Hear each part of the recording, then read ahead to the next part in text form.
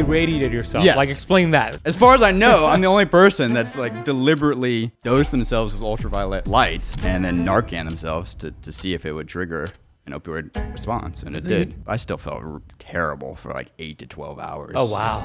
Former NIH scientists have looked into this that UV light does affect the opioid receptors in the brain in a pretty consistent way. When you have ultraviolet light, it's having effects on the body. One, it's it's replenishing your vitamin D levels. The second thing it's it's doing over time is it's populating a little bit of a human's opioid receptors, very similar to heroin, morphine, fentanyl, Vicodin, and skin cancer is, is a serious thing. And skin cancer is caused by overexposure to the sun, specifically ultraviolet radiation, causes a lot of skin cancer. The sunblocks are tricky because a lot of the sunblocks, when you dig down into their active ingredients, they tend to block. So there's ultraviolet A and ultraviolet B. And they're two different wavelengths, and they do slightly different things. So a lot of the suntan lotions or blocks you put on are kind of harmful in the sense that you put them on and you go to the beach on their mind, think, oh, I'll go outside, maybe I'll put on some sunblock, it'll be good for me, I'm gonna get my vitamin D. Eh, you're actually not getting your vitamin D. Yeah. That sunblock's blocking your vitamin D synthesis. Alistair, Alec, welcome, Ben. welcome to Miami and welcome to the Keto Kamp podcast. Thank you. Thank you for having me. So I was just here. yeah, I was just telling you, Ada, who's my social media manager. Shout out to you, Ada. You put oh she put you on my radar. Uh, I hadn't heard about your YouTube channel, which is Bostwiki. Yeah. Fantastic channel. We'll talk about that. Thank you. She sent me this video of yours about a couple months ago. She's like, you got to check out this guy's YouTube channel, and you got to check out this specific video. It's a documentary that you did because you had, and I want you to explain it. This is really wild, by the way, and everybody, you're gonna want to watch the full documentary. We'll reference it down below. One of the most fascinating experiments I've seen. I actually rewatched it today to prepare for the interview. But you explained, you had an idea, you had an hypothesis, and what did you end up doing, Alec? The hypothesis was based on a few research papers I had uncovered and then spoke to the doctor up at Mass General who was doing the research on UV light and its effects on the opioid receptors in the brains. And a lot of the research had been done with mice, but theoretically, after speaking to him, it applies to humans, and there had been anecdotal evidence that UV light affects the opioid receptors in mice to humans, to most brains.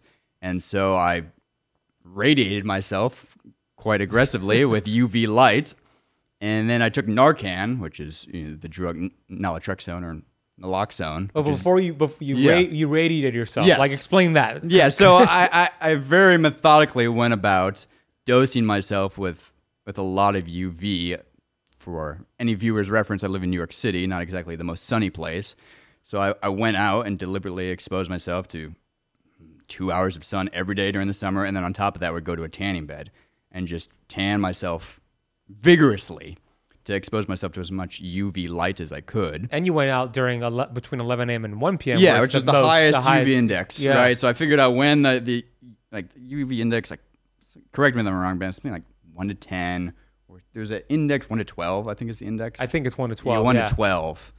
My memory is failing me here. The so I went during the highest possible time, did it for about three months, and on top of that, I would go to the tanning bed, just just radiate my body with UV light, and at the end of it, around 90 days, I took Narcan and just nasal injected myself with Narcan to see if I could to see if I could trigger a opioid withdrawal response. Because that's what Narcan is used for. Yeah, Narcan is used for medically when there's an opioid overdose, overdose, fentanyl or heroin. You see someone in the street and the EMTs respond. Yeah.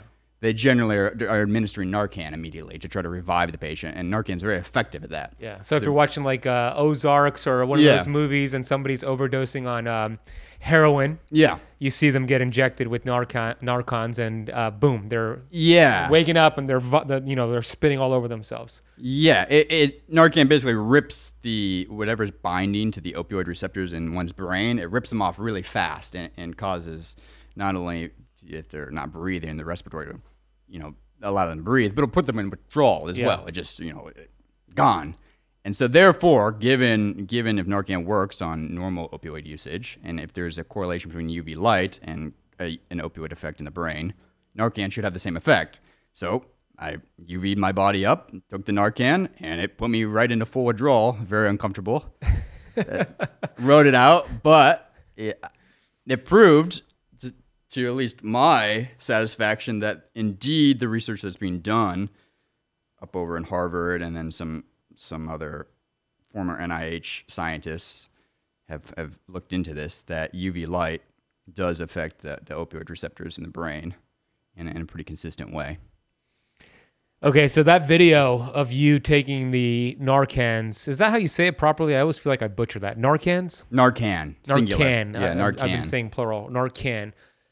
You're there, I think, four minutes in after you did the nasal spray, and you're like, I, oh, I'm noticing my legs. Uh, I, Yeah. I'm starting to sweat. Explain that. What were you feeling? Yeah, so I, I was a little gung ho about it. I I'm not an abuser or user of opioids, so I didn't really know what to expect. I, I had spoken to a few physicians, and, and they said, yeah, you know, it's a pretty common application to people that are overdosing on op- opioids. Should be relatively safe. It, you might feel withdrawal symptoms. I didn't know really what to expect, and it's a it's a standard nasal spray, like imagine taking your allergy medication, Yeah. you know, type of deal. So I, I give it a go, and you feel the little nasal drip. And I didn't feel anything at first for the first couple minutes. I thought, oh, this is a bust. And then slowly it just started to creep up on me. And the first thing I noticed was the legs, it, hard to articulate. They just felt very, very, very painful. I, I like they locked up, and then my eyes started to water. I was yawning constantly, and it just went all downhill from there. Got very nauseous, full sweat, heartbeat went through the roof. Mm. Not not great, but it took I don't know a good five to ten minutes for it to really take an effect. And how did it? How long did it last overall? You ended up puking. And, Oh yeah, so uh, thirty minutes into it, I was I was dope sick, equivalent of like felt.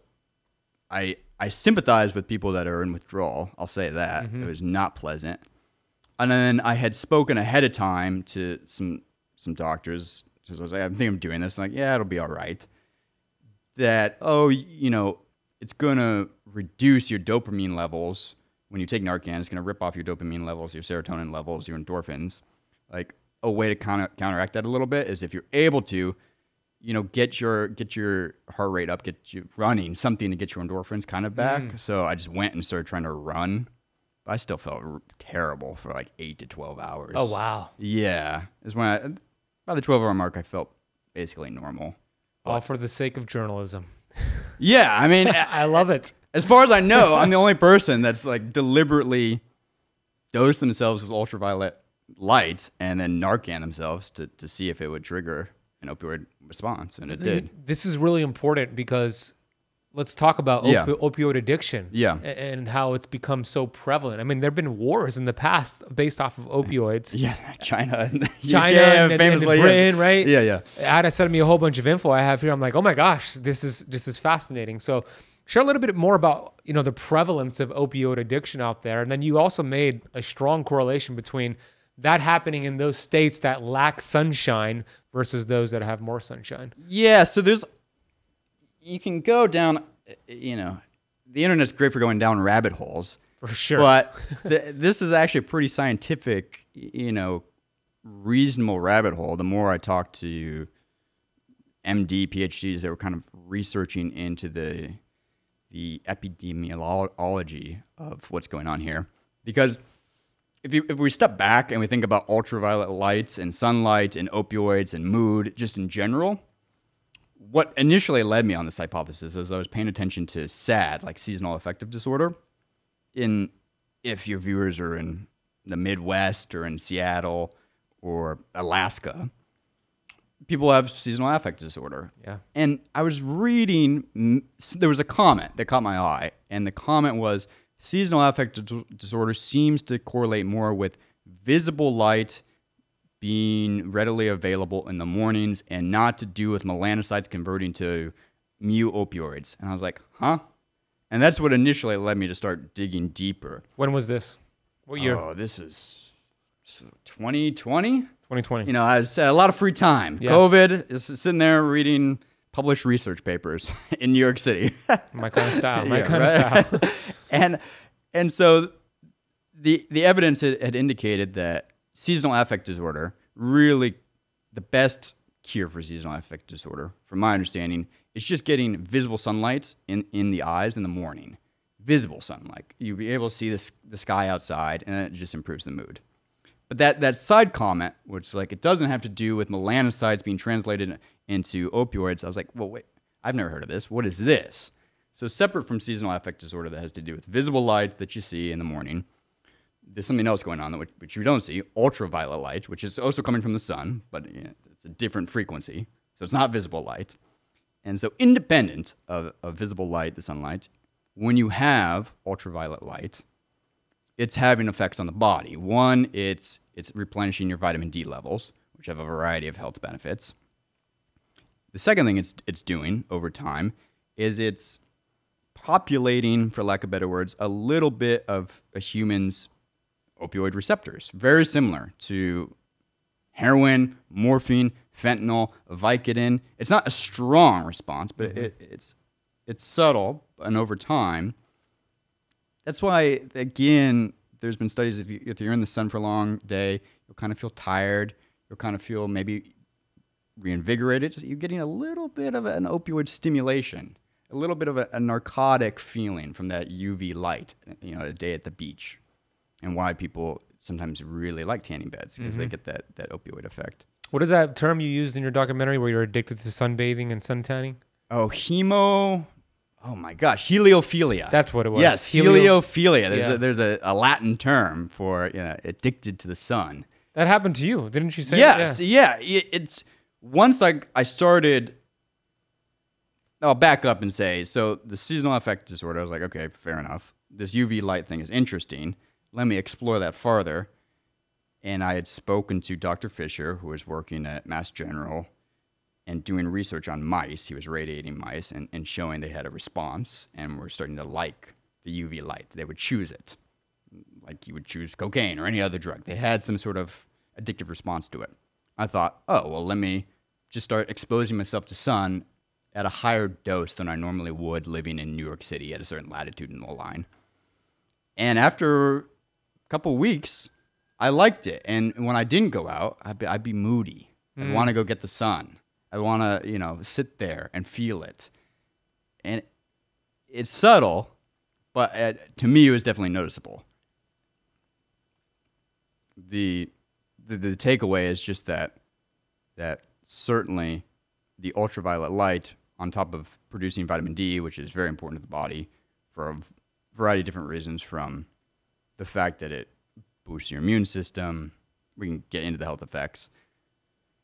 It's doing two things. The ultraviolet light, while it's it's satiating some of the, the opioid receptors in your brain at, at a at a healthy level, it Dr. Fisher, you're welcome to look into the research papers and we can show them to your audience at some point. Vitamin D also mediates the, the body's response to opioids. So when they went and looked at outpatient operations, people that had, let's say, tonsillectomy or yeah, gallbladder removal or something that wasn't too serious, they had to go in, painful, here's a prescription or a painkiller prescription, take it, and then they would follow up and see of the people that continue to use painkillers after long after they should have probably stopped from the operation, what were their vitamin D levels prior to entering that operation?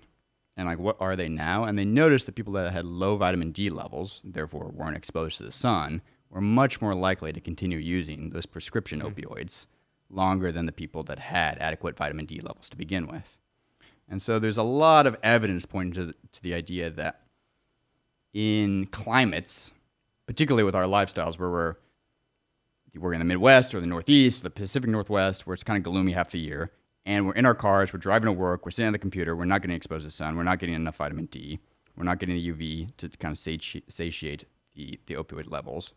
That all it requires is is a little taste of that that synthetic opioid, and suddenly our brain already starved of it because we don't have enough vitamin D or UV light. Ooh, it, our brains respond really well to it, and suddenly we become very dependent or addictive to it. It's just so fascinating. So, I mean, this is so important um, for anybody who's watching or listening who knows somebody who's addicted to a painkiller, to op- opioids right now, because potentially, and of course, work with the practitioner, do your own research. Yeah, yeah, yeah, yeah. but potentially, there's a strong argument that you know getting somebody who's addicted to painkillers and opioids, getting them out in the sun, yes, getting their vitamin D levels up, could make it easier for them to wean off yes, to mitigate, especially some of the symptoms as well. Hundred percent, Ben. So, in talking with the, the few researchers that have been looking at this, there's kind of, there's two approaches to go about it. There's one making sure that you're getting enough sunlight, vitamin D, just baseline throughout your life, so you're less likely your your brain's less likely to respond to prescription painkillers if you need them in an addictive way.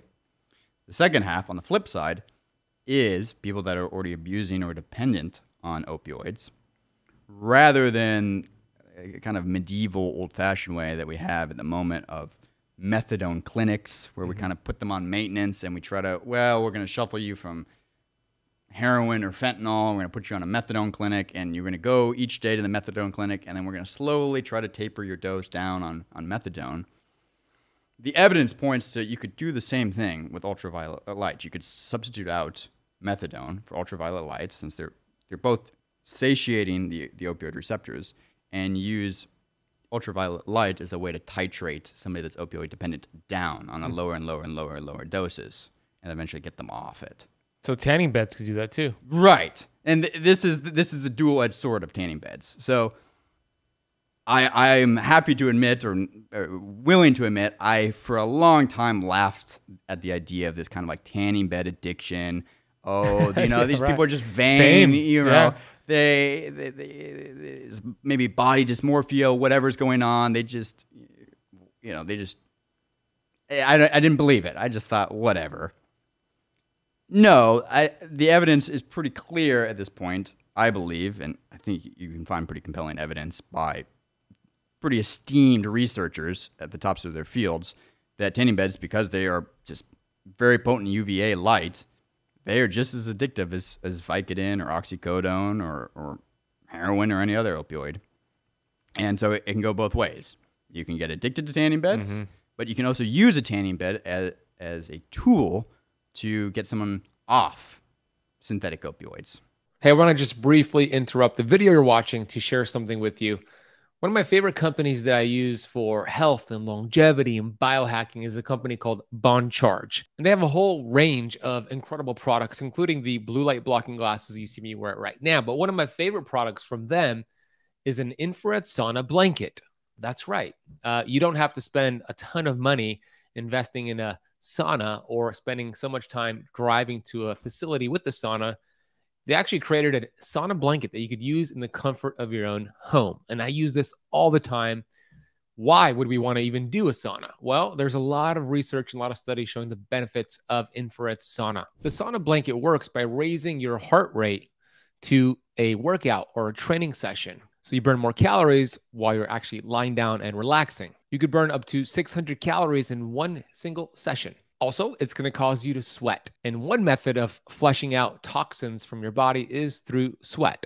There's also one of my favorite benefits this endorphin release, endorphin rush you get from using a sauna blanket. And I, every time I get out of the sauna blanket, I feel like I just got a 60 minute massage. And uh, that's because of the endorphin benefit from it. So, how this works differently than a regular sauna is that it works by using infrared light, which heats the body directly rather than the air around you like a traditional sauna. This means you get the same benefit at a lower heat. So, it's easy to set up, it's super convenient.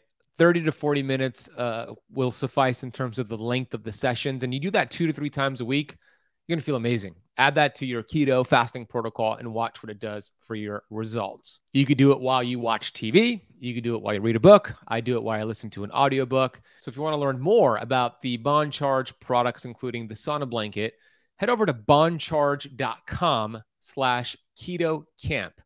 And if you use the coupon code keto camp at checkout, you'll get 15% off your sauna blanket. And actually, any of their products are 15% off with that code. Bon Charge hooked you up. So head over to that domain or click the link down below and go get your Bon Charge products. All right, let's get back to today's video. How, how what have you seen? What, what kind of outpouring have you seen on your, your your YouTube videos regarding this and your social media content? What are some maybe some comments or some stories people have shared about you know once they discovered your your video about this? What are some things that you've seen? I think eh, people have had, a variety of responses to it.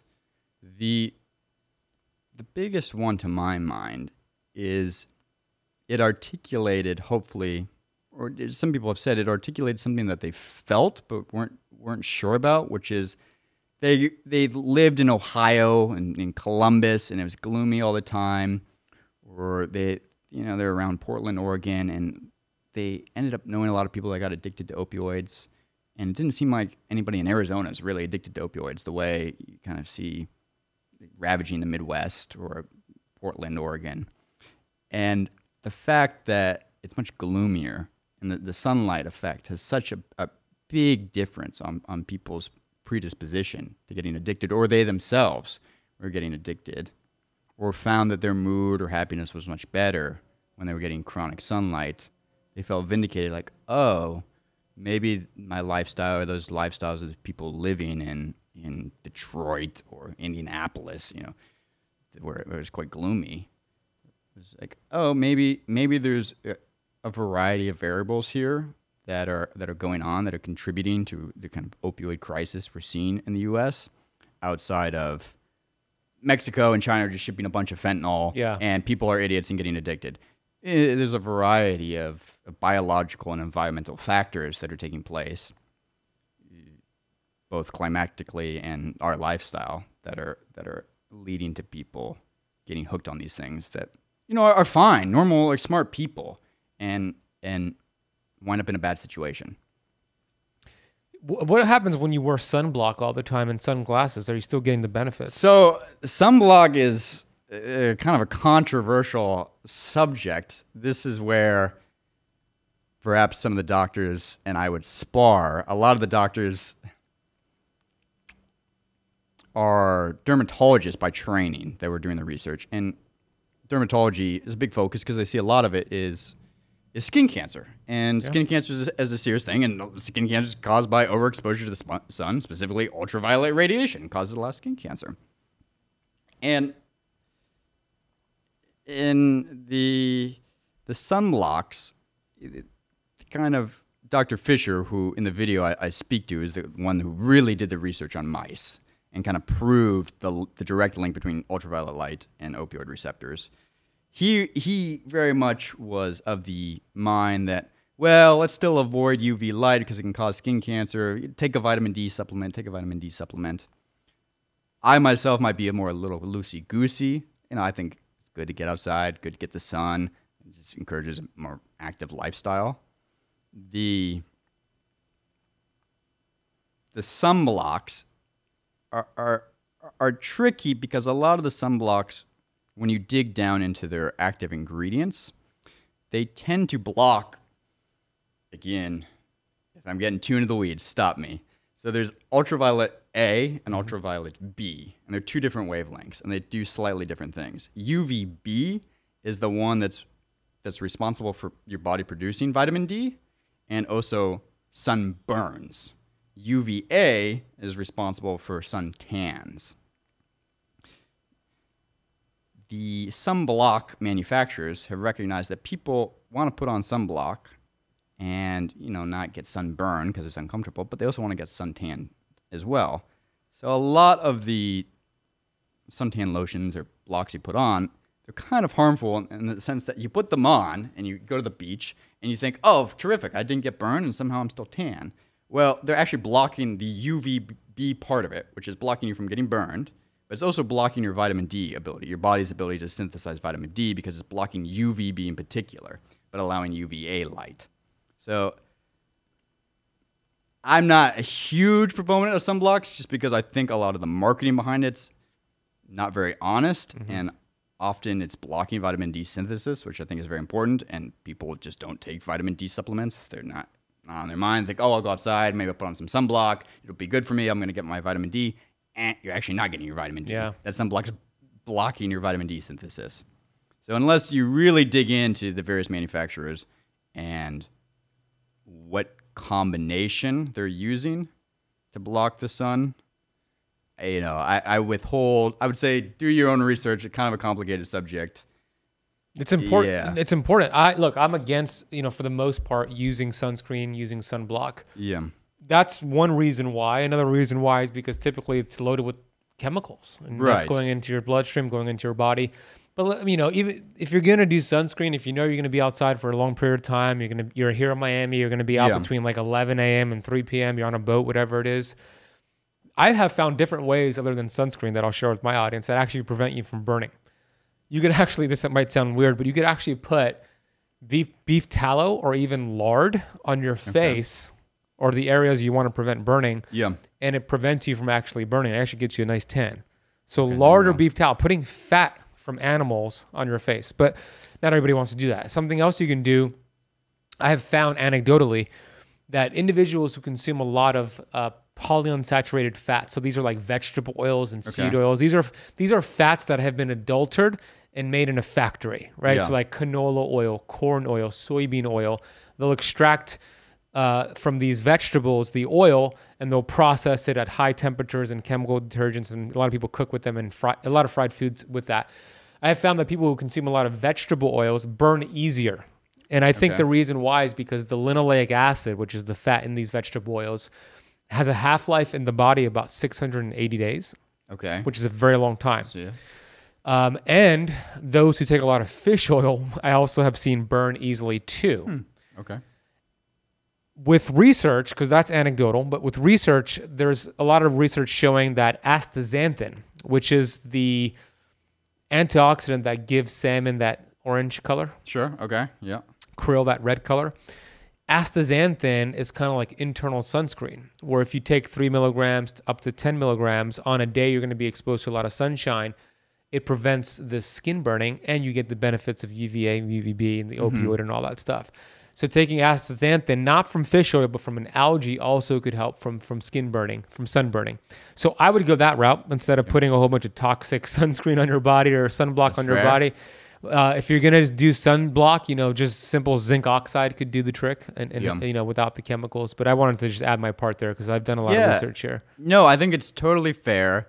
Sunblock, people have very strong opinions on sunblock that run the continuum. And I would say, you know, kind of take what you say, figure out what works for you. Also, your your skin type. There's a, something called the Fitzpatrick scale, which means, you know, if you're pretty pale, you're from Ireland, you're much more likely to burn much easier than just based on the melanin, the natural melanin amount in your skin. So different people are going to require different levels of sunblock, just on how rapidly they're likely to sunburn. You know, I Yeah. I, I want to just just emphasize that I am not a doctor, and every every doctor I have spoken to has been very adamant that they they do not like skin cancers, and they're big believers in like, oh, we need to cut down on melanomas. You know, they they like sunblock. So I don't want to ignore all the the. That- I want to at least do them justice. Yeah. Yes, yes, I've been told. That's fair, Yeah. you know. And then the argument to that would be, okay, but skin melanoma, skin cancer is is um, a result of something, and they would say, yeah, it's a result of getting too much sun and getting burned. But I would ask the question, why are we getting burned? right. I don't think it's because of the sun exposure necessarily. Uh, It goes back to what I just shared. I think it's because of our nutrition. We're eating bad fats that are becoming uh, a part of our cells, our cell Sure. makeup, that are easily oxidized and in fish oil, etc. Because, for example, me, although I'm from the Middle East, my parents are from Iran. I actually, they Oh, actually okay. yeah, they actually immigrated. Persian. I'm yeah, Persian, I'm first nice. generation American. And when I was younger, eating vegetable oils, eating fried food, eating Kentucky Yeah. Fried Chicken, where my mom used to work, actually, I burned really easily. Okay. When I stopped eating fried food and I got rid of vegetable oils, I could go out in the sun for five hours and I'll get a nice tan. I won't get burned, right? so it's like even me, you know, I noticed that, but I also noticed that with a lot of students. Anyways, the point is, uh, dermatologists are always going to say, Right. be I- I- careful. yeah, so and there is a point to that. Skin cancer is the number one cancer out there. Yeah. It's very common, but you know, let's see, let's you know, research both parts to my audience. Right. uh, yeah. I basically 100% agree with you on, you know, each person's got to make the best decision for themselves at the end of the day and, and balance the, the real and long-term risks uh, of skin cancers, which are number one cancer, but also the real evidence based facts that vitamin D and sunlight and ultraviolet light and just sunlight exposure for SAD are all important factors, you know, that you want to consider when trying to live a life that's that's meaningful or, or making you Yeah. happy. Move to Florida. Yeah, exactly. the sunshine state. You even you even had in your video like go to Miami, Yeah. uh, which you're at right now. yes. What is your goal with this? You know, this documentary. I know you have the hypothesis. You experimented. Like, what is your goal? Like for those listening and watching, like what can we do to support this this these findings that you've that you found out here? I don't know that I had a, a grandiose goal. It was it was a topic that fascinated me. One because I couldn't find out much about it. That was partly due to the fact that I just happened to be catching these research papers as they were being published. You know, the research was being done 2020, 2021, 2022. They're still working on it as Yeah. we speak. New research is coming out about vitamin D, ultraviolet light, and its effects with opioids. This kind of trifecta combination is still being researched and looked at as we speak. And there'll be more research, I'm sure, in, for the next decade, two decades, as we get to understand in a more nuanced view how these all affect humans humans interactions with with with drugs and sunlight and vitamin D. The the goal was from my own personal understanding of of the kind of just observations I've seen of of areas that seem to be hit harder by the opioid crisis and why certain people get addicted to things, why other people don't, what's behind kind of the the lifestyle of of being in the sun. And I would just encourage people to to get outside and get sunlight. You know, mm-hmm. it, I I did not appreciate until after kind of going down and doing this project and speaking to these doctors and these researchers how important it is, even when it's cold. If it's sunny outside, go out, get a walk, 20 minutes, 10 minutes, 50 minutes, doesn't matter. Expose your body to a little bit of sunlight, hopefully a little bit of vitamin D synthesis, or start taking vitamin D. Helps your immune system, among other things, but it'll also protect you against perhaps becoming opioid dependent if you find yourself in a surgery or in a bad accident and suddenly having to take a painkiller.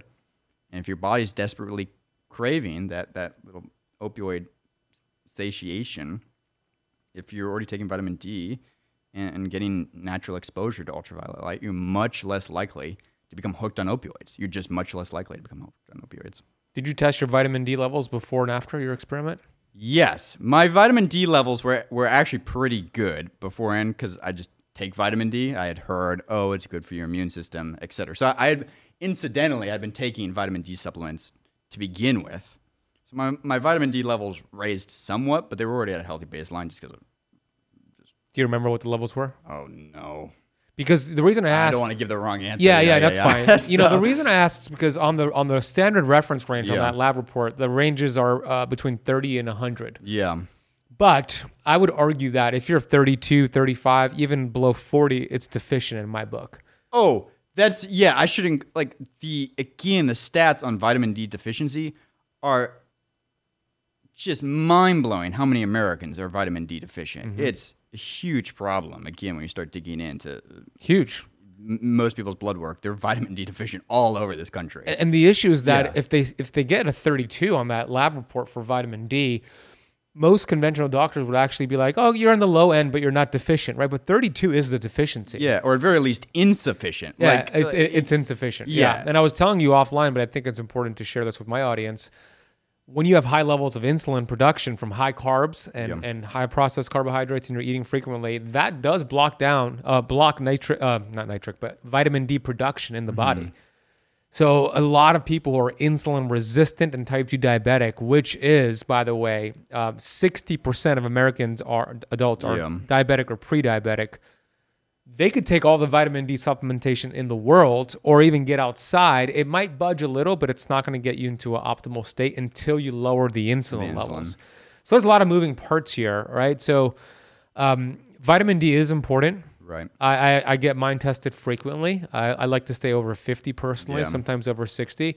I've never seen anything in literature that shows there's a vitamin D toxicity level. Although I wouldn't want to get it over 100 just because it just it sounds crazy to bring my vitamin D levels over 100, but I've never seen anything that shows a toxicity level. On the topic though of vitamin D supplementation, Yes.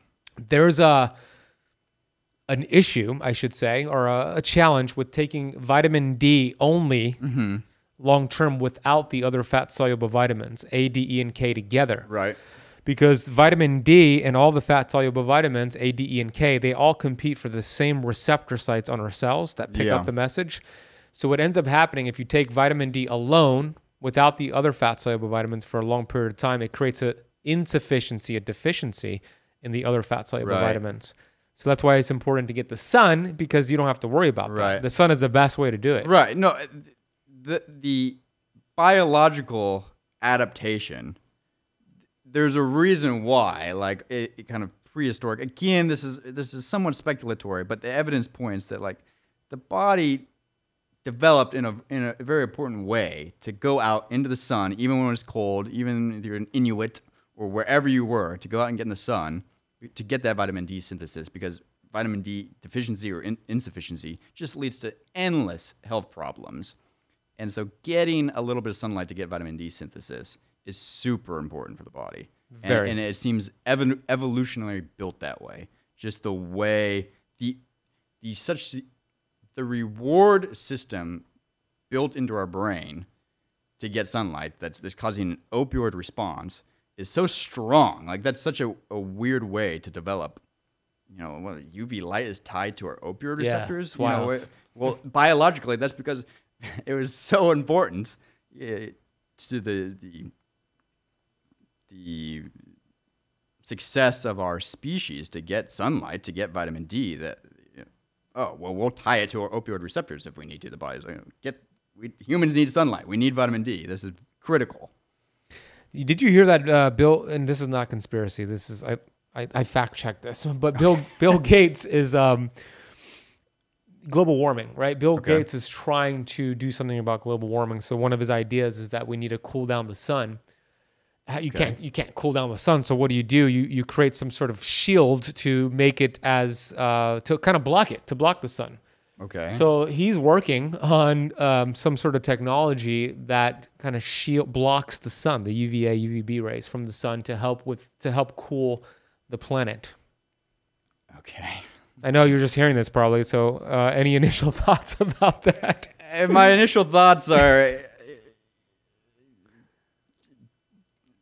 people that are hyper successful in one area tend to believe they'll be hyper successful in all areas. And i'm not you know i'm a little suspicious if their genius really extends to all facets of life. So you know i'm I'm highly yeah, if, suspicious. if that, if that makes sense. I you know okay bill gates you know he has a lot of money. It doesn't seem like to me a, com- a compelling reason to blot out the sun to reduce global you know okay okay Yeah. bill gates yeah, I mean, you know, I agree with you. I think it's uh, highly suspicious. Yeah. I remember he was on the news talking about COVID and you know vaccines, but I was like, why is Bill Gates talking about this? It was just interesting to me when I saw him on the news stations.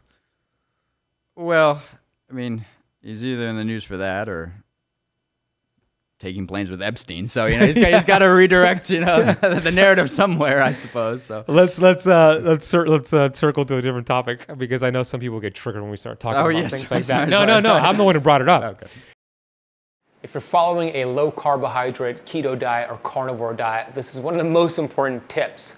I see a lot of people who struggle with keto and carnivore, and the reason they struggle is because they are losing too many electrolytes. They're becoming mineral depleted. Every cell in your body needs minerals to function, to produce energy, which helps you burn fat and feel good. My favorite minerals and electrolytes are from Beam Minerals. These are fulvic and humic compounds that are bioavailable that have, have over 70 minerals in them. It tastes like water, and all you do is simply drink from the bottle every single day to replenish your electrolytes. They also have sprays that you could put directly on a muscle cramp, a foot cramp, and it alleviates the cramping. And this is what I take with me to go, which is a mineral complex that I could travel with. And it's been shown that when you take the right minerals and electrolytes, you're going to support your immune system, lower inflammation, help detoxify the body.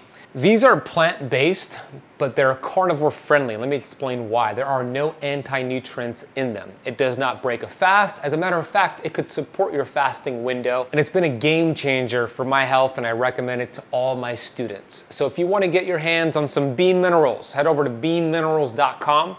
Use the coupon code AZADI at checkout, my last name, A Z A D I at checkout, to get a nice discount. Beamminerals.com, coupon code is AZADI. We have something in common, which is uh, dairy. Uh, Ada put it on my radar that we both did some research on dairy. You know, some of the, one of the big things people do when they do a keto diet is they eat a lot of cheese and dairy. Okay. Yeah. And I discovered, and I, I, I found out through Ada that you found the same thing that um, about 75% of the adult population in the world is actually lactose intolerant. Like, Yes. Yeah, 75%. Yeah, it's a huge percentage. It blew my mind Yeah. when I never thought anything of it growing up. You know, just drank my milk, and then you know I would hear in class, "Oh, this one student's lactose intolerant." I grew up in the mm-hmm. Midwest, the most like white vanilla Kansas. Yeah, Kansas, just your standard corn-fed Midwest Germanic. You know, people just drank milk. You know, you got milk. The ads everywhere. I remember growing up, and then somewhere along the line. I think I was speaking to a Korean friend or somebody I said, "Yeah, you know, I'm lactose intolerant. Everybody I'm from is lactose intolerant." I was like, "I mean, everybody's lactose intolerant in Korea." Yeah, and then I looked it up. Oh, most Asians are lactose intolerant. And it turns out most people in the world are lactose In intolerant. the world. Yeah. 75%. yeah, Uh, as adults, because we end up losing our ability. uh, As kids, we could. Yes, correct. And then as we grow up, we end up losing the ability, which makes sense. You know, as a kid, you want to actually be growing and getting milk. yes, but as an adult, you don't really need to grow anymore. So there's no need for it. Now, that is as it relates to pasteurized cow dairy. Raw dairy could be different. okay, Um, that study was done on pasteurized. So raw would be different. I don't know what the percentage would be, but raw. But either way, I always tell my students, hey, go with sheep and, and uh, goat dairy instead. It's much uh, more safer than okay. pasteurized cow dairy. Okay, interesting. It's processed a lot easier. So I usually do I usually do sheep and goat because I know I'm one of the 75%. I tested my genetics and it showed that. Sheep and goat. What about almond milk? I imagine that's because it's coming from. The issue with almond milk is that almonds have high amounts of something called oxalates. Okay. Oxalates are these tiny little crystals found in plants and Okay. nuts and seeds, and uh, it creates kidney stones. And they also oxalates end Kidney up, stones. Yikes. yeah, I know, and they end up um, in your joints and they end up inflaming your gut. So I'm not a big fan of almonds in general because of the oxalate Okay. uh, count. Uh, you could also find high oxalates in spinach and kale too. So Okay. I would stay away from almond milk. But if you're gonna do like a milk, then macadamia nut milk or coconut milk is a good option. Macadamia coconut milk. Yeah, Okay, those would be better than almond or, or cow milk.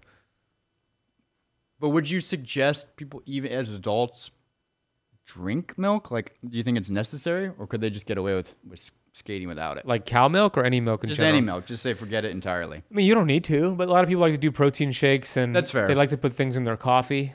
Um, true. People do like to yeah, yeah, their so- coffee. yeah, it's- so I heavy- just drink it black, so it doesn't even. Occur oh, you're one of those, yeah, huh? Just, yeah, you're just a psychopath with coffee. You're yeah. just like, I, I- you know, I wish I, I enjoyed mine black. Uh, heavy cream is okay because it's mostly fat. It's mostly milk fat versus milk Okay. protein. But I wouldn't put milk in my coffee, like cow milk or anything like that. Okay. So heavy cream is better. Um, you could put butter and ghee. Ghee is actually better because it removes the, the lactose altogether. Different things you can do. Uh, but yeah, that's it's just interesting. It's because most people don't know that. Seventy five percent. There, yeah. you know, if hundred people are listening at this moment, seventy five of you are lactose intolerant. Yeah.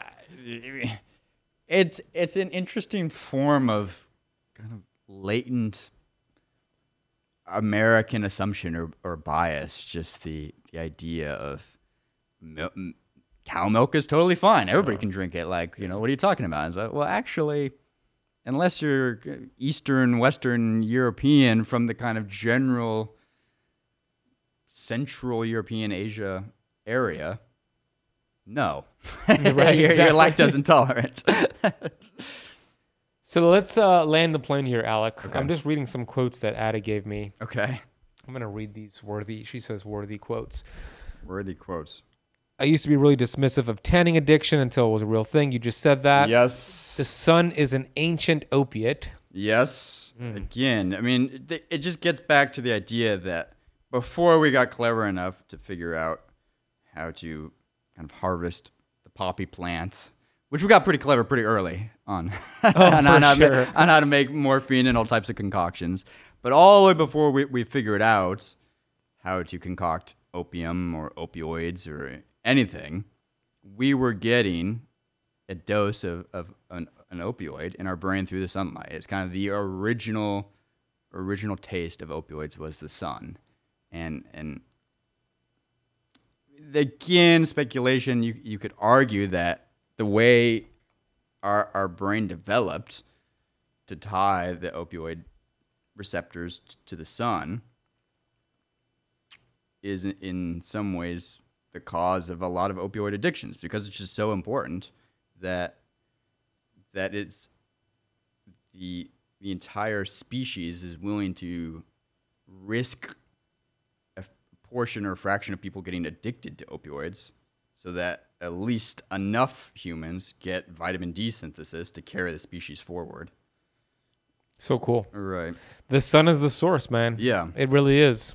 And if you're thinking about that term, I have it here the heliophilia, addiction to the sun, addiction to sun tanning and sun uh, tanning salons, etc. I used to think it was bogus, but now I am convinced it is a real thing. Yeah, just to add to the in, the sun the sun tanning beds, they're actually quite clever in the way they market, and maybe they do it without realizing it. but if you most sun tanning bed operations, they'll kind of offer, you know, the first three are free, Mm, right? very Oh. smart. Oh, okay. Well, the first, you know, first couple are free. Why like, ah, not? I feel so good and every then you, time I then go. you get you. Oh, I feel pretty good. I have a tan. I look good, and also like my body kind of likes it. Eh, Maybe subconsciously, but it's it's an addiction, and suddenly you're hooked right back in. You're paying the membership, and ten years later, you know, you're just tanned to the gills. And some people are able to to to navigate it fine. Again, everybody's different. Some people won't get addicted to things from my observation. Other people will. But if you're predisposed to it, tanning bed can be just as addictive as you have a surgery, you take some Vicodin, and then yeah, you stay six on months it. later, you're, you're Are you still doing tanning beds? no. Yeah. I, cut myself off. Okay. Yeah. Was it was it tough? I'm trying to reflect back on it. Yeah, it was. The Like, did you what what was tough about it? Did you just like have the urge? I gotta go get to my go to the tanning bed, or was there actual like physical things No, you were it, it was. I think it was more psychological than physiological. But it was certainly. If I go without coffee for like a day or two, I'm kind of just like unpleasant to be around, and I, you know, I want coffee. I found I had done this experiment during the summer where there was ample sunlight in New York City and then I was tanning on top of it. And as the fall turned into the winter, and the sun, and the cloud, it's like fifty percent, forty-five percent rate of sunniness in the winter. It's pretty gloomy, overcast in New York City. And my body started to; it was used to a certain level of just ultraviolet light. Getting it was used to that that that level. And for the first couple of weeks, yeah, my mind was like, "Oh, you know, what would feel better if you just went to the tanning salon." you would feel better. You would be happier. And I said, well, no, I gotta ignore it. It's like it was. A, I could feel the compulsion. Yeah. Is really what. That's probably the best word. It was compulsion that was just back of my brain that I felt kind of low and and I don't want to use depression because people have different interpretations of depression, but kind of a low level just gloom Mm-hmm. know, with a compulsion to, to seek out. You know, like basically textbook like you know, drug seeking behavior, Yeah. right? I had a, a, a, a tanning bed seeking behavior that I could detect in myself So interesting. that eventually went away, but certainly, yes, it, it was there. And I had forgotten about this entirely because I did this two years ago or Mhm. something. But that, now that you bring it up, yes. That's fascinating. Uh, we're gonna put the we have some research research studies that you referenced. We're gonna put that in the notes, uh, the YouTube channel, the podcast to go check out if you want to check out the research. I recommend you do. I'm also gonna put your video, uh, uh, the documentary you did. Yeah. It's about 30 minutes. It's fantastic. The editing is great. Uh, you spent a lot of time on this. Everybody go watch that. We'll reference that down below in the notes. Anywhere else you want, your YouTube channel is Bostwiki. Yep. Subscribe to it. B-O-S-T-W-I-K-I. Uh, we'll put that down below. Anywhere else you want the audience to go check you out? Hey, you just Google Bostwiki if you like my videos on TikTok or you know, whatever I have to say on Twitter, which is nothing that important. Yeah, just Mm-hmm. YouTube. Twitter X. Yeah, X. X, yeah. X, you know, whatever. I have a final a final question Yeah. for you. I ask all my guests this Okay. question. At least the last 300 guests I started doing this. Hey, I want to take a minute to share something with you as we take a break from the video you're watching. You know, one of the most common things I see to why people don't have enough energy levels, they have trouble building lean muscle mass, they have brain fog, fatigue, and they don't feel good is uh, because of a deficiency in a hormone called testosterone. Now, testosterone is a very important hormone to have in a healthy amount for both men and for women. So, how do you reclaim your vitality? How do you reclaim this very important fat burning and muscle building hormone?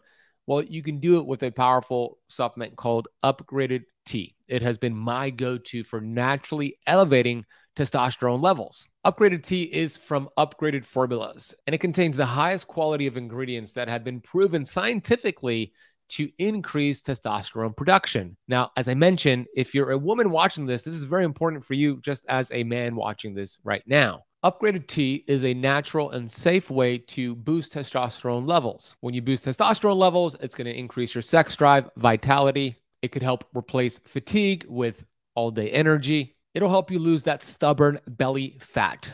Uh, testosterone is required for fat burning, so it'll help you with the last five to 10 pounds that you're looking to lose. It helps you be in a better mood, helps with your memory and focus. So here's the three step approach. Step one, take two capsules of Upgraded T with water every morning. It does not break your fast. You can have it with food or without food. Step number two, notice your energy levels and dominate your day with more confidence and more vitality. Step number three, wake up the next day having better sleep and just keep doing what you're doing. As simple as that. So, if you want to get your hands on upgraded formulas, Upgraded T, and any of their awesome products like their upgraded magnesium and their hair mineral analysis testing kit, head over to upgradedformulas.com. And if you use the coupon code ketosis at checkout, they're going to give you 15% off your entire order. That is upgradedformulas.com. Ketosis at checkout. We're going to drop that link down below. And let's get back to today's video. I talk a lot about a, a supplement that also uh, is anti-inflammatory, like vitamin D. Uh, Okay. It helps with inflammation, as I just mentioned. It helps with just feeling better. It could help with oxytocin, GABA. It could help regulate the immune system. Uh, it's called vitamin G, Vitamin G, okay. and I call it vitamin G because it's actually experiencing gratitude. It's vitamin gratitude. Okay. So you know, my shirt actually shows it here. Vitamin G. Look at that. I'm so so No, I, mean, I didn't, expe- non-observable. I didn't expect even you to notice, see that. yeah. No, I just I just remember that I'm wearing the shirt. So my question for you is, Okay. Yes. Now that you have my. yeah, what are you grateful for, my friend? What is your vitamin G today, Alec? Oh, what am I grateful for? I'm grateful that I live in the United States where we have places like Miami where I can just bounce from New York City to go get some sunlight or go to the beach. That's, I mean, top of mind is, is I'm grateful that we live in a, in a vast, diverse country where, one, there are people doing, like, despite the cynicism on the internet, I can't even say the word, despite the cynicism on the internet, there are a ton of smart people doing smart research. you may not know about it, but it's out there. People are publishing it. They're taking things seriously. People are always trying to move the ball forward on science. And it's coming out of the US. There's a lot of great stuff coming out of the US. I'm grateful that research still gets done. Grateful that I'm able to try things and that people are willing to have discussions and that people are open minded. Doctors took my calls. They were willing to discuss with me.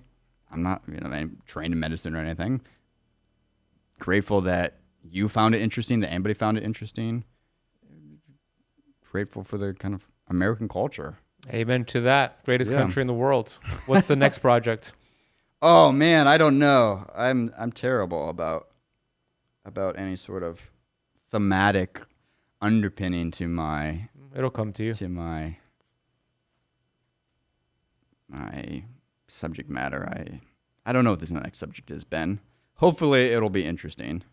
but we'll see. I trust it will. Well, stay tuned. Whatever it is, we'll uh, bring Alec back. I mean, it's not hard to get people to come to Miami. yeah, yeah, yeah. hey, thanks for making the trip from New York. Uh, appreciate you. Of course. Everybody go check out Alec's work, his YouTube channel. I would start with that documentary he did. We'll put it down below. And stay tuned for round two when we figure out what's his next project. So thanks, brother. Thank you, Ben. Thank you for having me.